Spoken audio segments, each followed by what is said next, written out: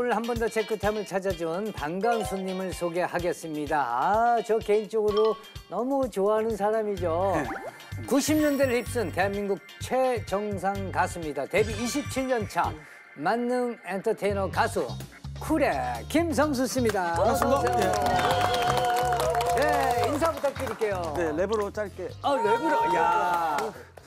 어머! 한 번 더 체크 타임이야! 자, 90년대 최고의 이제 혼성 그룹, 2002년도에 이제 골든 디스크상 대상을 수상했습니다. 아, 쿨의 히트곡이 130여 곡이 된다고 하니까 어마어마하죠. 저도 놀랐는데요. 짤막짤막하게 한 대목씩만 좀 들려주세요. 네, 그러니까 제가 래퍼라서 짤막짤막이 아, 많은 것 그렇죠. 같습니다. 잠깐, 잠깐. 그리고 길게 하지도 않잖아요. 예. 빨리 떠나자 건강 체크하러 예, 예.